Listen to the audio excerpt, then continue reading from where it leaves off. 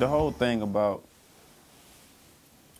you know promethazine, codeine is that it's not a drug that actually you know that some that is street made. It's a pharmaceutical drug. It's actually something you have to have a prescription to get. Now, just like anything else, once it's abused, it can have its effects. In my opinion, it just helps out with nausea and things of that nature that just might go on once you're an artist and once you get on the road and start traveling a lot, eat different foods, stand up all times of the night, kind of calms your stomach. I was introduced to the whole sizzurp thing really by one of my homeboys. I tasted his cup, and then you know, just being out on the road, just kind of got became a, a drink of choice for me. Codeine cowboy, just a term we use on the south side. You get the drinking. What up, cowboy? You know what I mean? That's all it is. Codeine. Codeine cowboy just for all my drinkers out there. You know what I mean? The whole, um, it really derived from Houston anyway. Texas, you dig? And, you know, you got Dallas Cowboys, you got, you know, the whole theme of Texas was kind of like that Western civilization kind of swag anyway. So, you know what I mean? And then you had cocaine cowboys that was out there. So this was just kind of like, you know, using the thing, you know, you know what I mean? Just being creative, put my own little swag to it, put my own little slang to it. You know what I mean? Since we ain't dealing with no cocaine over here, we call it codeine. You feel?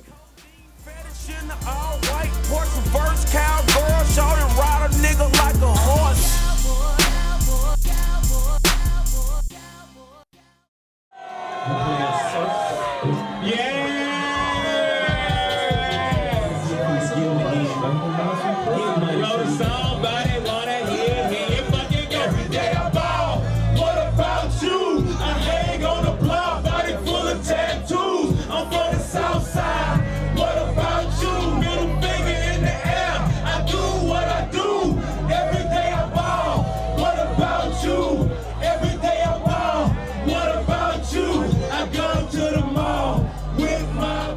if you don't know, you know, I'm Tity Boi, 2 Chainz, one half of Playaz Circle, and a member of the Duffel Bag Boys.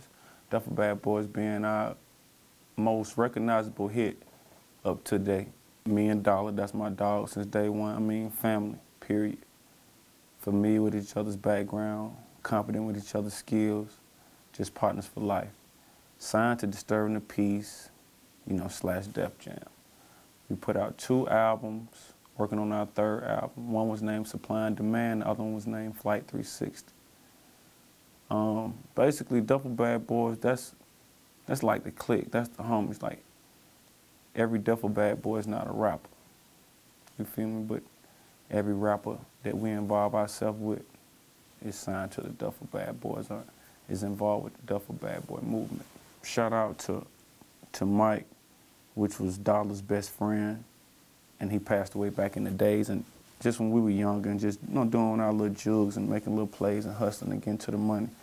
He was just one of the guys that always had dreams and uh, ambitions on carrying duffel bags, you know, having duffel bags full of cash. And then remembrance, you know what I mean? We just locked in on that duffel bag boys and, you know, kept it moving. A lot of my partners, you know what I mean? We've been partners for over 15 years, you know what I mean? So let's just say it's not a, not a lot of new people in the clique. Duffel Bag Boys, Two Gun Gang.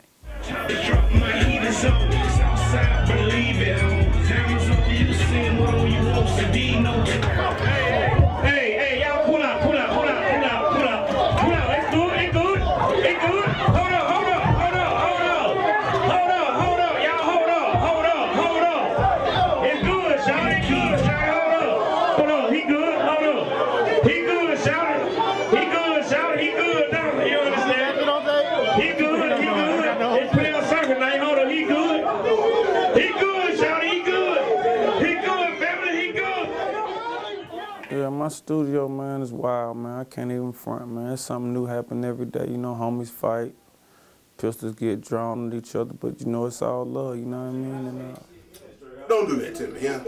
I'm just saying, he said that was, he said that was a girl. I mean, I, I mean, I, I, there's a lot of girls that love me. me. Why not? I mean, I'm, I'm a handsome young man. I mean, when I'm ready to get jug, I can do it. Yeah. You know, yeah, Rock & Republic and Gucci boots on. I do whatever. Yeah, yeah, you do Look, look, look, it's monthing. I do whatever I want to do. Yeah, right there on the phone. You get that? It's monthing. What that I do is? whatever I want to is? do. What that is, See, I don't like to show off my money, but you know, I can do what I want to do. You got that shit, don't you, Frank? No, I ain't got no money. I do what I want to do. little contest over here called push ups and Push Ups, what we do. What we race. Make sure you take off your chain. That's all you got. Yeah, come on with it. Make sure you take off your chain. This Boy, been 200. Where y'all going now? You know, we going, we going to wherever shot gonna stop at right there. Stop that, Shy. Y'all should going. Give your head start. Please? About right there. Yeah, that's cool. That look good right there. That's a 40. Keep moving up, big dog. No, no, no, I said, when, when you gonna give him a start? You say you gonna start, bitch. You ready? Hold on, whatever you, whatever you got, you gotta say it now. He gonna just drop your hand, no talking. You ain't gonna say go? Okay. Nah, I said go. Yeah, that's it.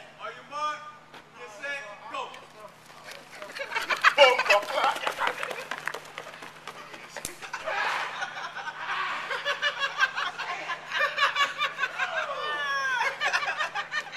Where that boy Hawk P is, bro?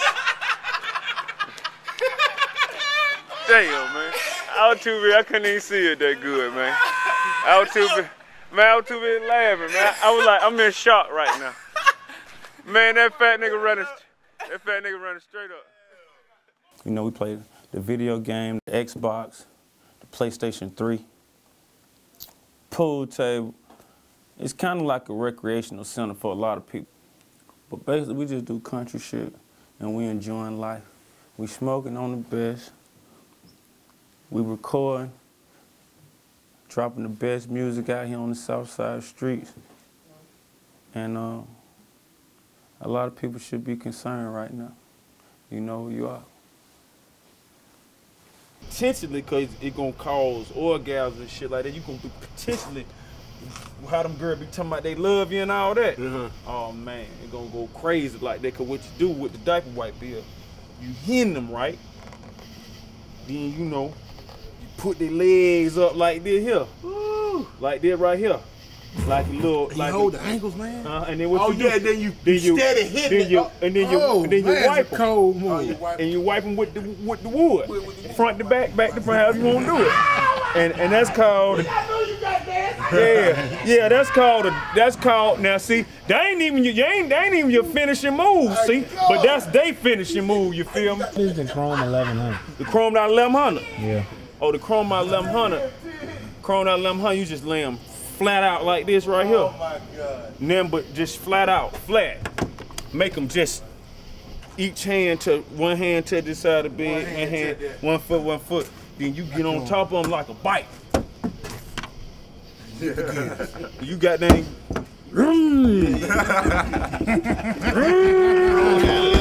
then you might pop a wheel on that bitch. Player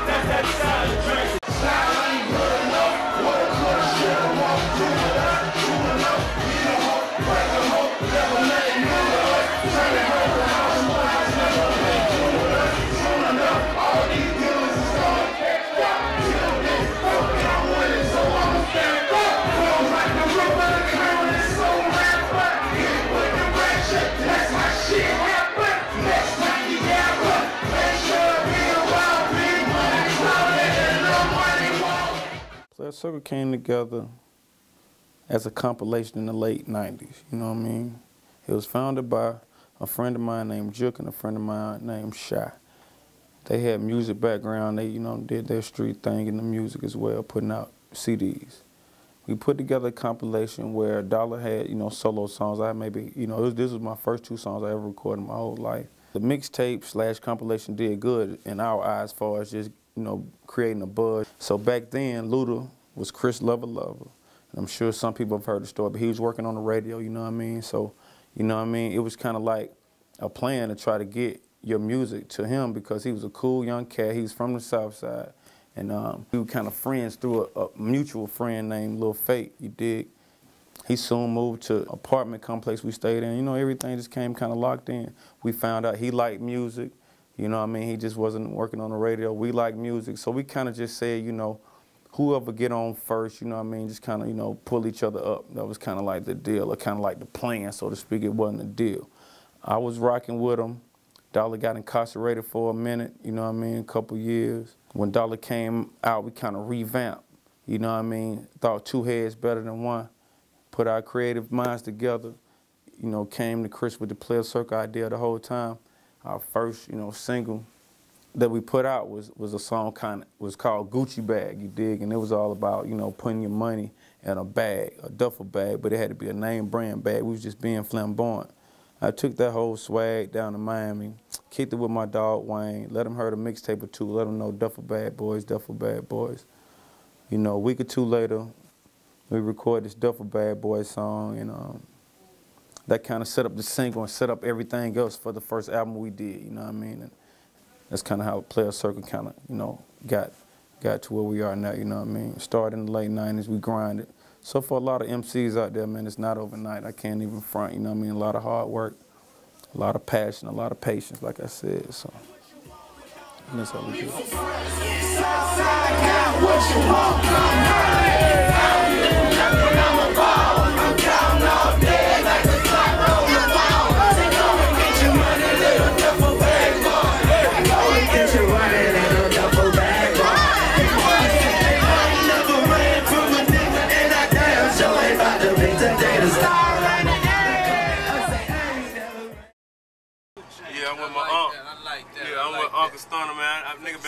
since I was a little nigga. He told me to get out the street. One of the niggas I look up to.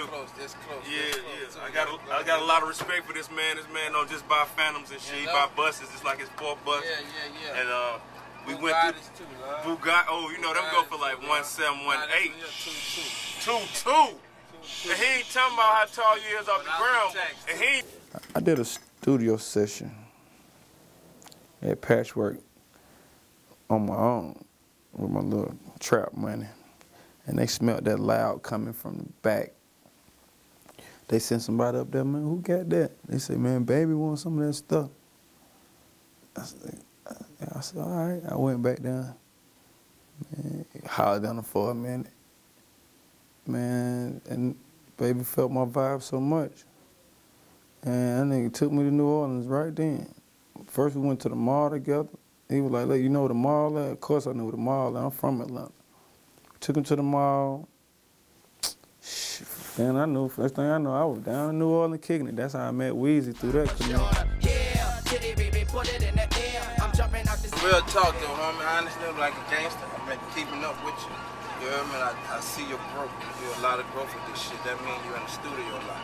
And to be what you got to be and what you're trying to be, that's what you got to do. Be in there, ground hard like the ground hard I see on the road every day with my son and show that you really want it. You heard me, dog?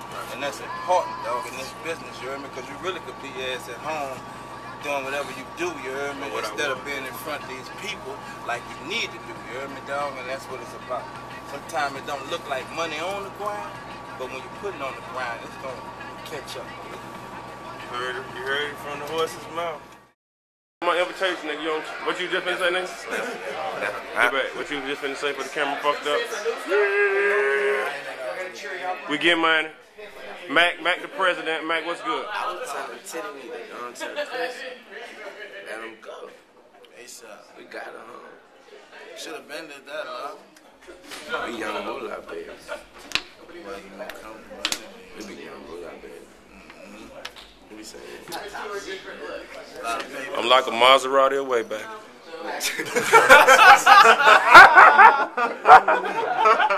Right now, it looks like Baby trying to buy the whole industry and show the industry what to do with artists. Oh, I don't know what he's trying to do, but that looks like what it is. But I was invited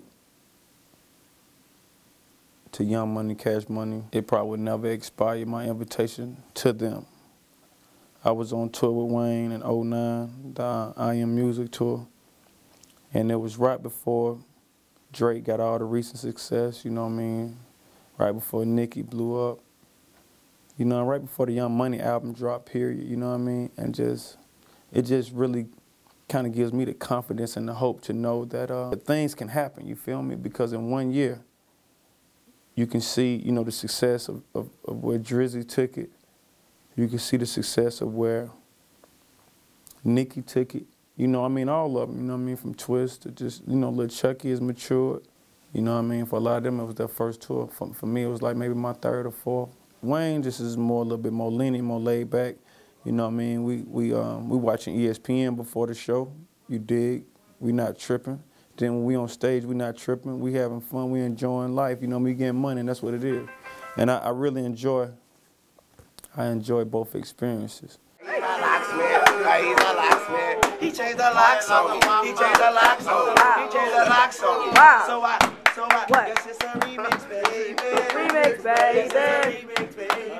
Remix, baby. I got the master key. Uh, uh, I got the master key. Uh, I got the master key. Matter ah, of fact, What? I got the combination. Damn. I got the combination. Damn. I got the combination. I got the combination. Damn. Everybody be quiet. I'm trying to hear the tick. Everybody. Tick. It's open. Oh, it's open. Oh, it's open. Oh, it's open. Oh, I'm in it. Oh, I'm in it. Wait a minute. Wait a minute. He put a ring on it. He put a ring on it. He put a ring on it. He put a ring on it. He put a ring on it.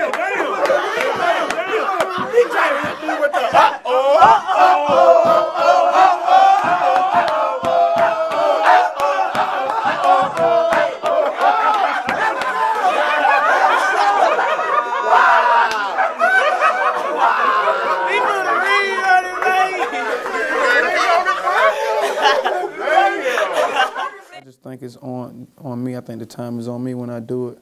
At first, you know, I was just a, such a loyal guy, and Chris such a great friend of mine. I just didn't want to look like I was click hopping.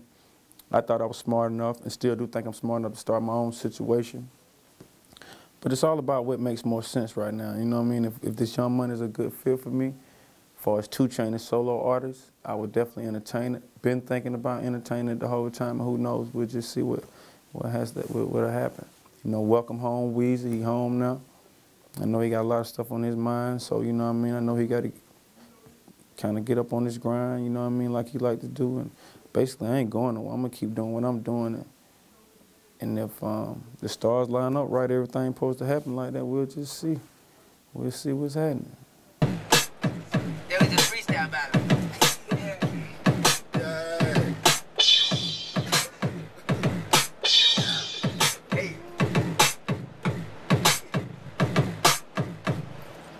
Boy. I go, I go, Ted. Let's get We over here doing this.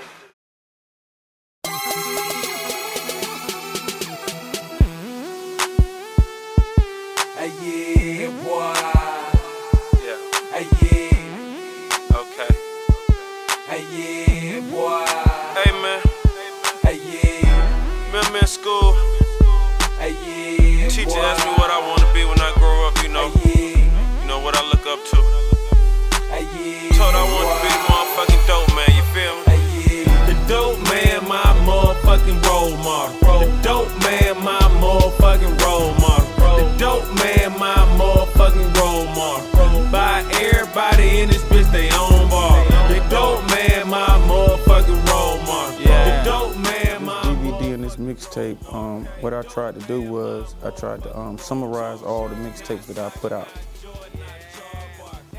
Kind of like a best of, but it's a collective item, you know what I mean? And I, I tried to pick 10 of my best of them. I put out six solo mixtapes within the last two years. And I tried to pick my, um, you know, my most confident, hardest 10 timeless 10 songs. And then I'm gonna add five new songs to it. You know what I mean? Just to give the people what they want and just kind of keep the ball rolling, keep it moving. I realize that I'm picking up new fans. A lot of people just not getting onto the two chain wagon. A lot of people know Tity Boi been doing this thing, and I'm just really appreciative of the whole moment. So what I'm doing is just giving the people something to um, actually see, which is me. You know what I mean? And me and my ethic, me, me doing my thing, which is just being a studio rat. And then also, you know, being able to hear, you know, good music that they may have missed out on if they weren't already hip, as well as some new music.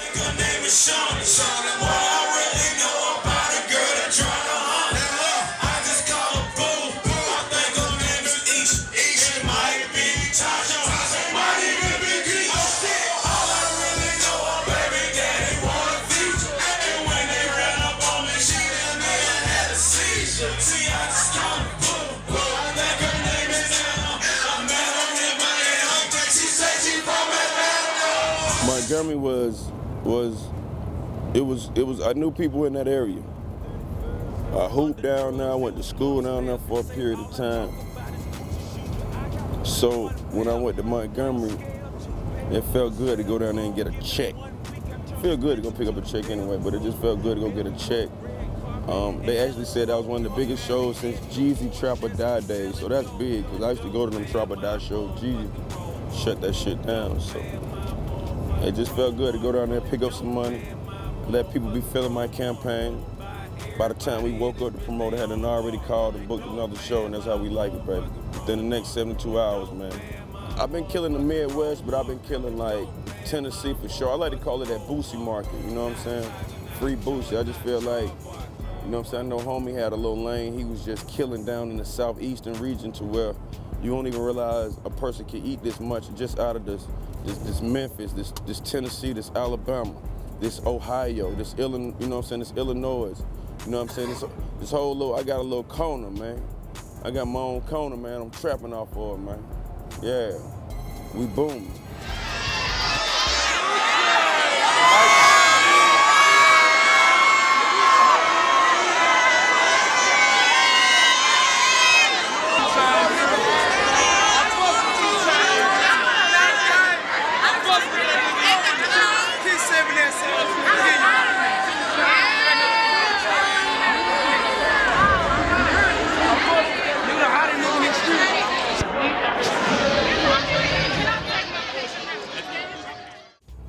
SOE with me, and people that, that know me know that means studio over everything.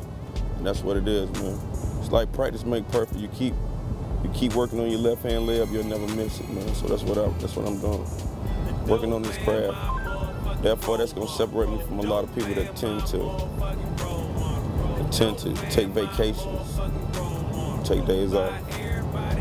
Not here.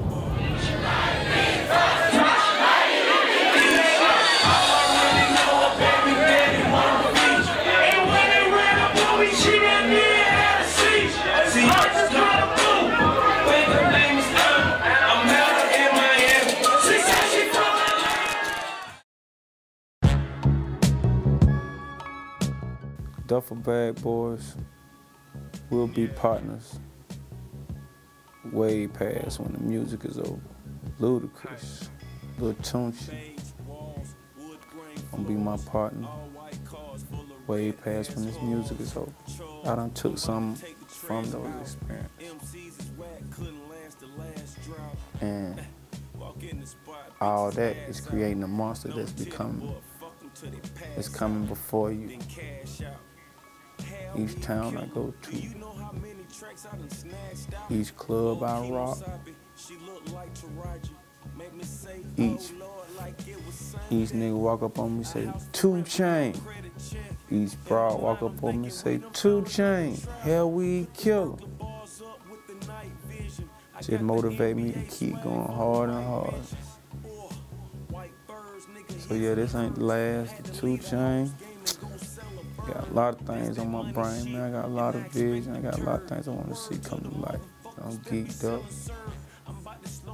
I'm ready for the challenge. I'm ready to compete. You already know what we doing. Get to the money. Get to the money. Jack.